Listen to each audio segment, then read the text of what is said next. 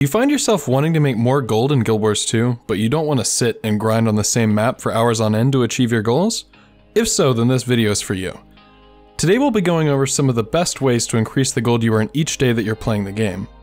I personally still utilize most of the methods I'll be sharing with you in this video, even after reaching well over 100,000 liquid gold on my account. I do this because the methods are consistent and they really do work. So without further ado, let's get into it. The first step in everyone's gold making routine should be to log into the game. On average, login rewards are worth about 2 gold per day, so even if you're not going to be playing on a particular day, it could be worth just spending 1 minute to log in and claim the reward before you log out. To maximize the value of your login rewards, I strongly recommend choosing legendary crafting materials as your option for the chest of loyalty at the end of each month. Doing so is going to save you a lot of gold when you go to craft legendary items. Another really easy thing that you can add to your daily routine to make more gold are daily achievements. If you open up the hero panel, go to the daily tab, and click on daily achievements, you'll see all 12 options for that day. There's 4 for PvE, 4 for PvP, and 4 for World vs. World. All you need to do is complete 3 of these, and you can mix and match between game modes, and you'll be rewarded with 2 gold, 3 spirit shards, and 10 achievement points every single day.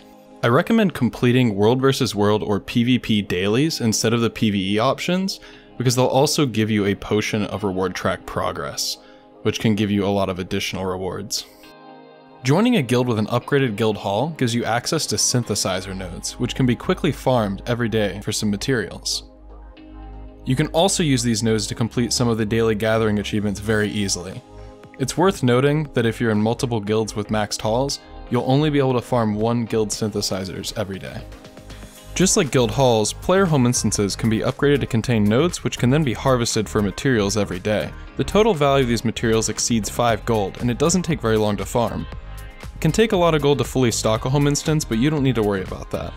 If you go to your guild chats, or a racial city map like Rata Sum, you can easily find someone with a full home instance that will share it with you, if you ask them nicely. Like some of the guild hall locations, the home instances can also be used to complete certain daily gathering achievements. Quartz crystal charging can be done in several locations, but the most convenient is the crate obelisk inside a home instance. Make sure you have your 25 quartz crystals in your inventory, then interact with the crate obelisk to create a charged quartz crystal.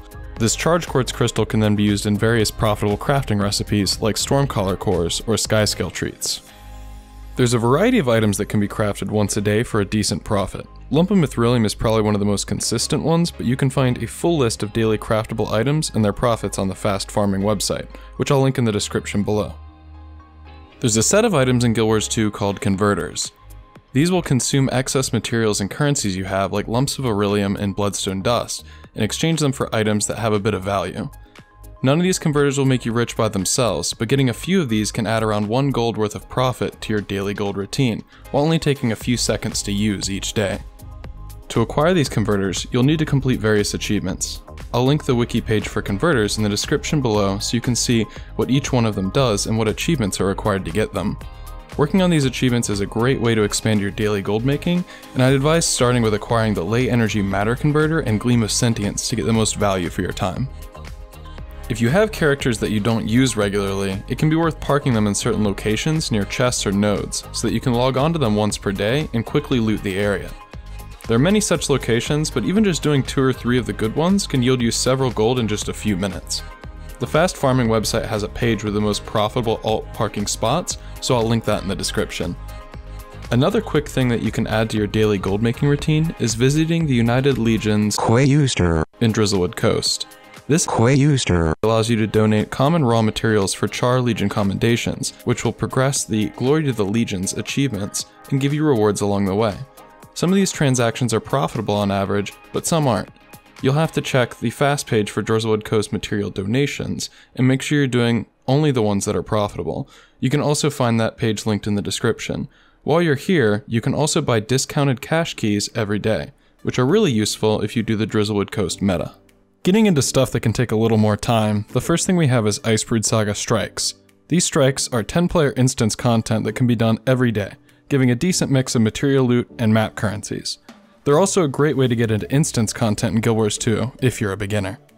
I'd advise gearing a character with a build from the Snowcrows website, link below, and starting with what most people refer to as the Easy Three, which are the Shiver Peaks Pass, Fraenir of Jormag, and Voice and Claw of the Fallen strikes. Once you're comfortable with those, you can move on to doing full runs with all of the Icebrood Saga strikes for the most loot. You can also open the Vigil Emissary chest and the Eye of the North once each week after completing all the strikes for even more loot. The last thing I'd recommend adding to your daily routine is Fractals of the Mists. This one probably comes as no surprise to a lot of veteran players. Fractals are relatively short, 5-player instance content that resembles dungeons in most other MMOs. There are four tiers of difficulty in Fractals with a pretty simple theme to the reward structure. The higher tier Fractals you're doing, the more loot you'll get. With Tier 4 dailies and daily challenge motes, experienced Fractal players can rake in 40 gold profit in about an hour every day. To get to this point, you'll want to gear and learn a build from the Discretize website, which will be yet another link in the description. Access to the highest tier fractals will require Ascended gear and 150 Agony resistance. If this seems like too big of a commitment for you, don't worry. Tier 1 fractals will only require having a level 80 character, so you can get started and give fractals a try without worrying about any of that other stuff yet.